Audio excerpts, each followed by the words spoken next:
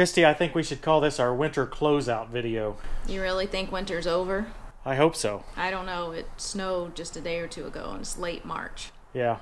Well, that's what our video is about. Partially the snow. You're going to see a lot of video here from our hopefully last snow plowing of the year. That's why we're calling it the winter closeout. Yeah. You're going to put the snow blade up, and then it's going to snow again. I hope not. Don't say it's going to snow again. It's late March.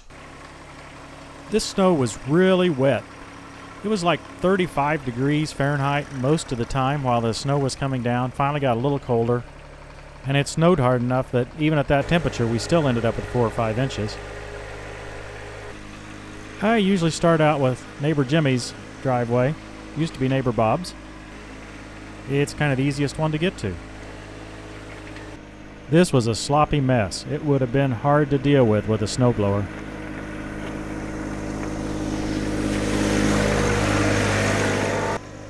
One of those classic central Indiana situations where I had to get out and plow it off quickly before it melted. Okay, so it's late March and it snowed a lot today. Yesterday it was almost 50 and beautiful and sunny. It's pretty, but I'm ready for spring. Not snow. Go away.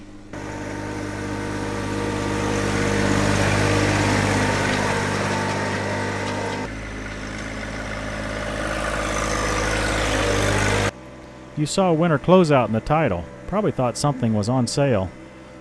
That's not the case unless you want to buy winter. I'll sell that to you pretty cheap at this point. We're ready for spring. So that's what we mean by winter closeout.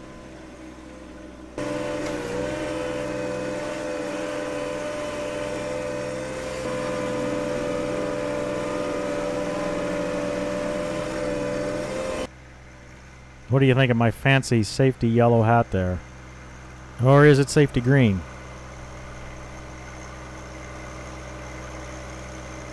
It's really not taking very long at all to plow these since it's so wet. It's just clumping together. So it's really not much issue. Before we had Johnny, I used to try to use my walk behind snowblower to do a lot of these driveways. I probably didn't do as many as I'm doing now with Johnny, but I've always enjoyed clearing driveways. It probably wouldn't have been quite as aggressive if I'd have just had a shovel, though.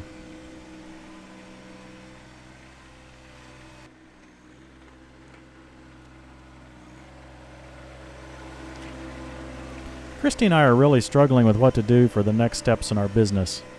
We had a lot of situations last year and already one estimate this year that just really need a slightly larger tractor than what we've got. At the same time, most of our projects are a perfect fit for Johnny.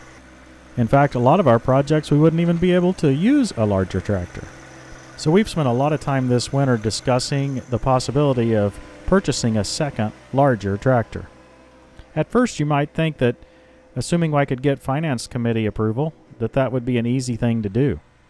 But when we think deeper, we begin to realize all the complexities that are involved in that decision. For instance, where are we going to store a larger tractor?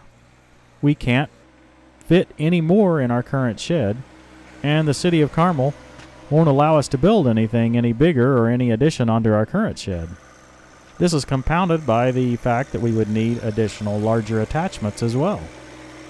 We've discussed the idea of building a shed up on our uh, four and a half acre farm that you've seen in other videos.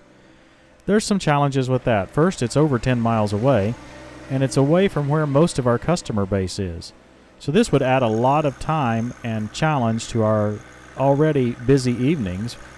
We'd have to drive all the way up there, load everything, and then drive to the actual job. We're also a little nervous about security in that situation. With no one there to watch it, even a locked building is a pretty easy target. Beyond storage, there are other challenges as well. For instance, transportation. Our Honda Ridgeline handles Johnny with no problems. Casey, on the other hand, is a load, and we expect that any larger tractor might be a little too much for it. Optimally, we'd look at a larger trailer that we could actually haul two pieces at the same time. All this would require a new truck. Wow. And I thought a tractor was expensive. And then think back to that storage issue. Where would we put that longer, bigger trailer? I guess that means we have to move. And the problem is, land around here is really expensive. Really, Really expensive. expensive. For instance, we looked at a five acre plot uh, just this last week that they want six hundred thousand for. The house on it's nice. It's just not $600,000 nice. The lot and property is beautiful. It's got a pond on it.